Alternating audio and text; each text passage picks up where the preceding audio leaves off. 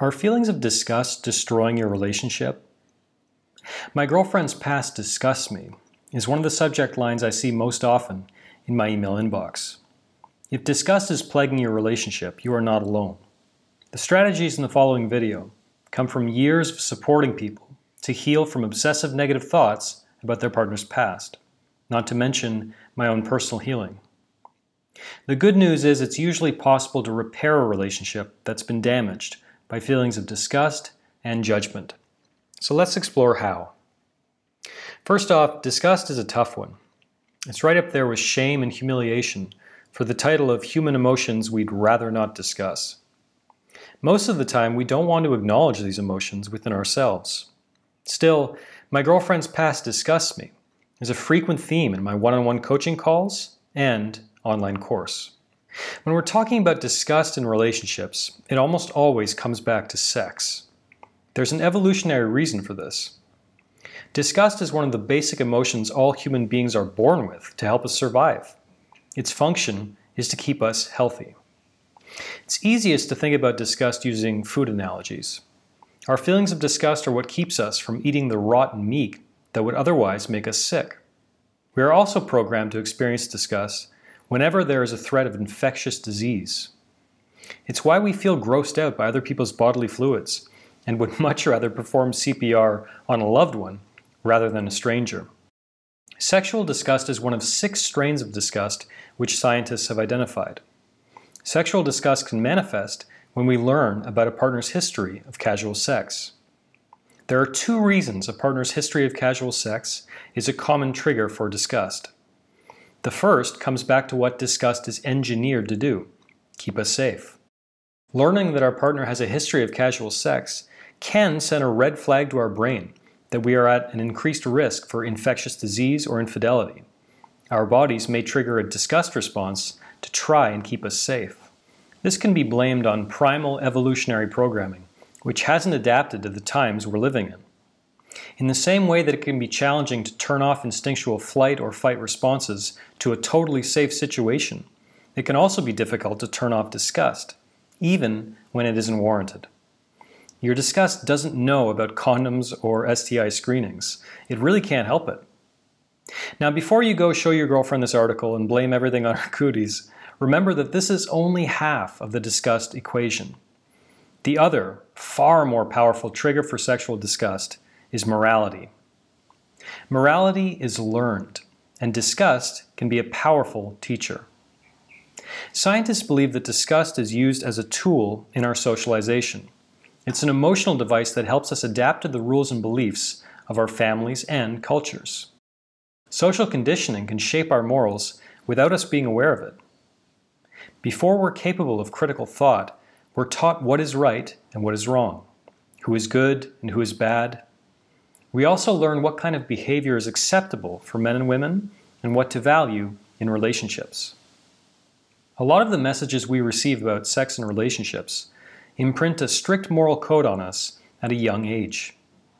When it comes to learned morality, sexual purity in women is a value that appears in many societies and cultures around the world. Messages that a woman who has been with multiple men is somehow spoiled or tainted are pervasive in many cultures.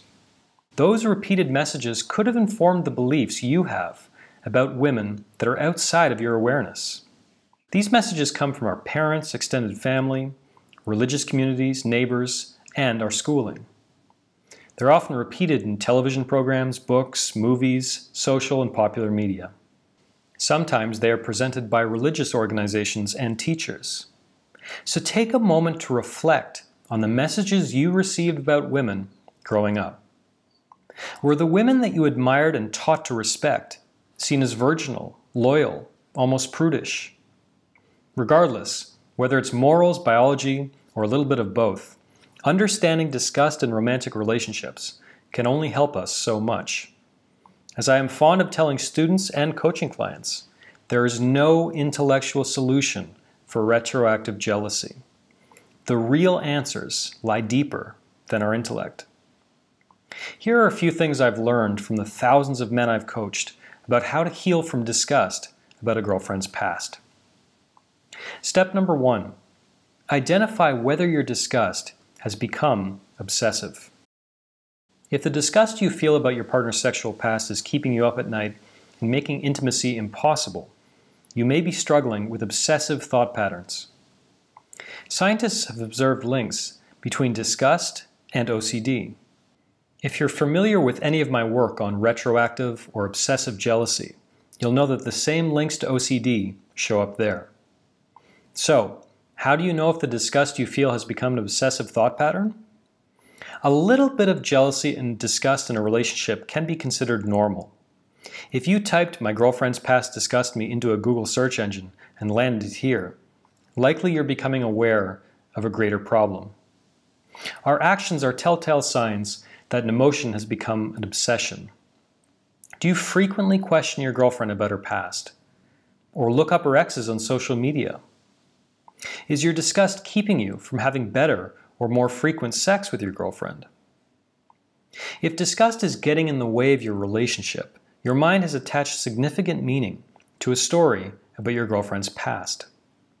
Our minds get stuck on details that conflict with deep-seated, often unquestioned beliefs we may hold. These beliefs may be conscious or unconscious.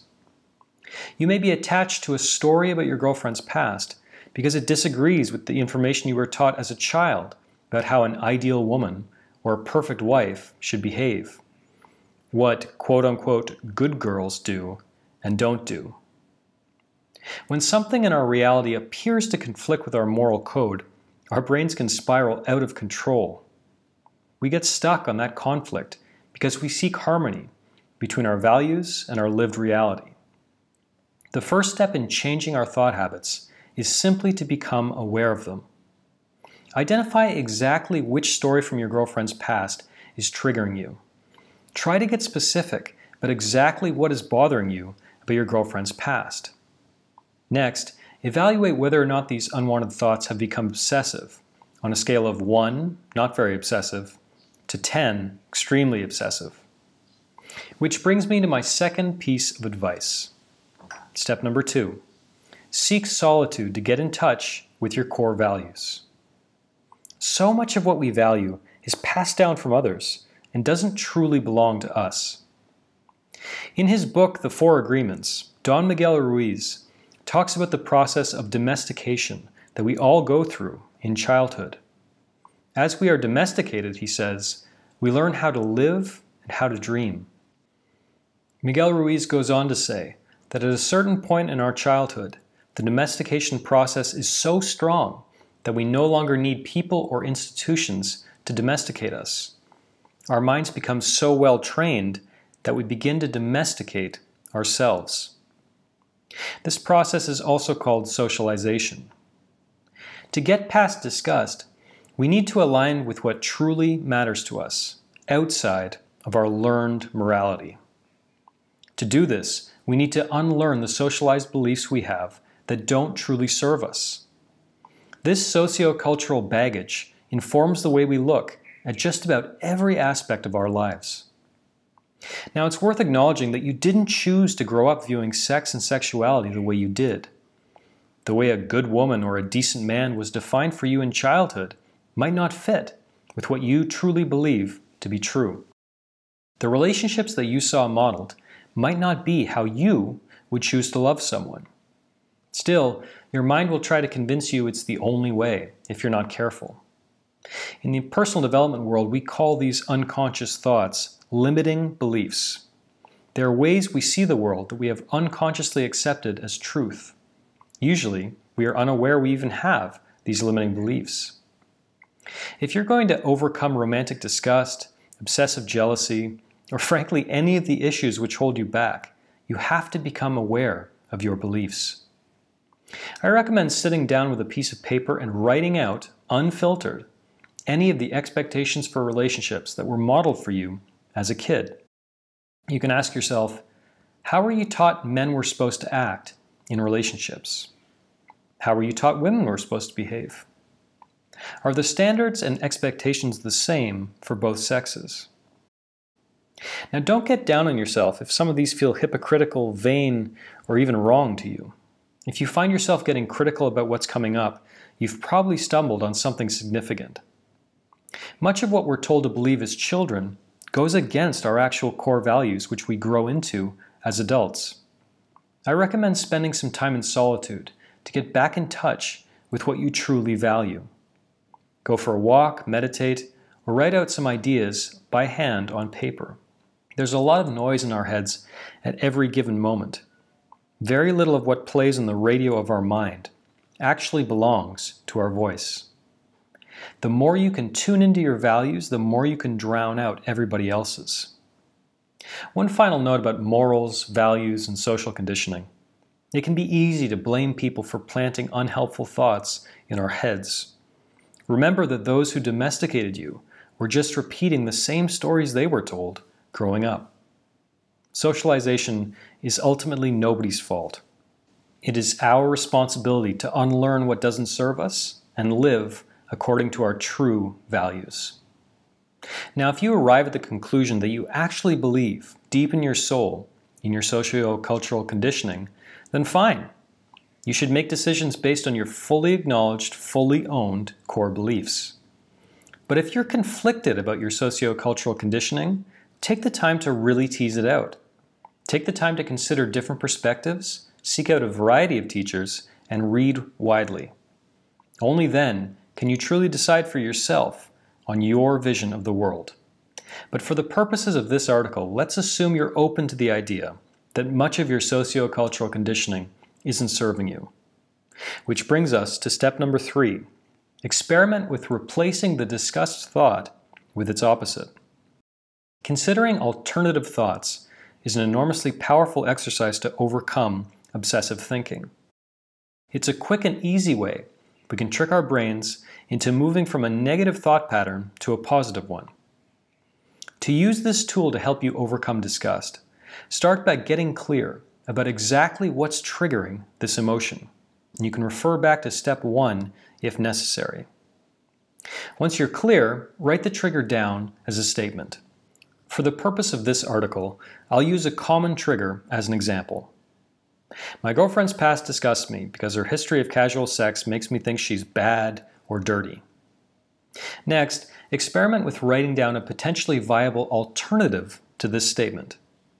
A few we could try using the example that I just mentioned are My girlfriend's past excites me. I value her independence and her experience.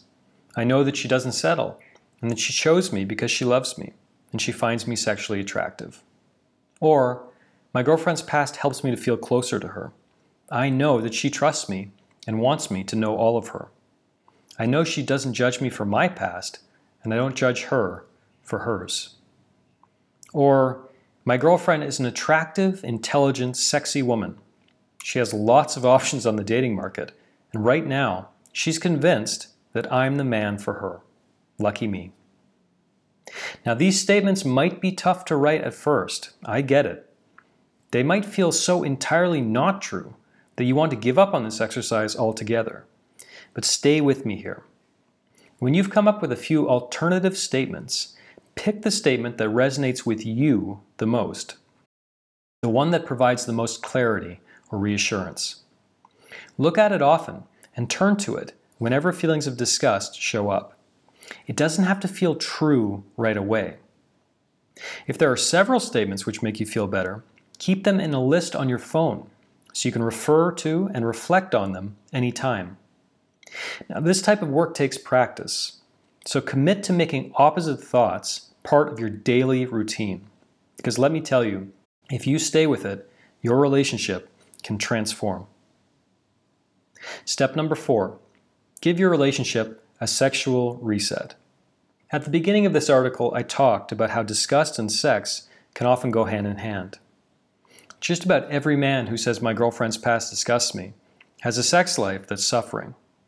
Even if you're having sex regularly, you may be holding back if your mind is focusing on your girlfriend's past instead of the present. So, what's a sexual reset? Honestly, it's just about anything you both need it to be. It could be something you do together or something you commit to on your own. It's an act of leaving disgust behind and reigniting the flame that drew you together in the first place. When your mind gets in the way of intimacy, it's important to be intentional about recreating desire in your relationship. Therapist and author Esther Perel often talks about how distance can create desire. If you're able to get away, I highly recommend going on a solo trip somewhere as part of this reset. In your time away, commit to changing the thought patterns that have caused the repeat pattern of disgust. Spend some time in the exercises I talked about earlier in this video. This solitude will help you get the clarity you need, and the separation from your girlfriend will build lust and longing between you. And when you get back, embrace your girlfriend and approach intimacy with a fresh slate. Be present and generous with her, and let her be generous with you too. If your mind slips to the past, choose to focus on the opposite thought statement you created instead. Or give your mind a focal point in the room to distract you from negative thoughts. I have one client who thinks about trees and clouds as soon as negative thoughts enter his mind. See if this kind of thing could work for you too. If a mini vacation isn't available to you right now, the other key player in driving desire is novelty. So get creative. Mix up the sex you're having in some way, whether that involves incorporating new toys, new positions, new moods, or role play, whatever. Meet up at a bar and flirt unabashedly with your girlfriend, seducing her as if you've never met. Get out of town, park by a lake, and get up to some fun. Read a new book or take a new online course, exploring a new aspect of sex and sexuality which is interesting to you. Now, these are just suggestions, and the possibilities are endless. If you're comfortable bringing your girlfriend on board, I'm sure she'll have some great ideas too. So enjoy the process. Step number five instead of telling yourself, my girlfriend's past disgusts me, remind yourself about what you love about your partner. Every man I've spoken to about disgust expresses their frustration with the emotion. They feel like they're unfairly judging their girlfriends, and they don't know how to turn that judgment of my girlfriend's past disgust me. These men find the women they're with to be sexy, fun, and trustworthy. They're in relationships they want to hold on to, and they feel like disgust is holding them back. These men are also aware that they need to work on this problem or they'll lose their girlfriend. Disgust, jealousy, fear, shame, and insecurity are all emotions that hold us back in relationships. They waste our time, hurt our partners, and make us feel like men we don't want to be. As you do any type of healing work from negative emotions, it's important to remember what and who is motivating you. Recalling what you love about your partner is a great way to remind ourselves why we want to make big changes to the way we think.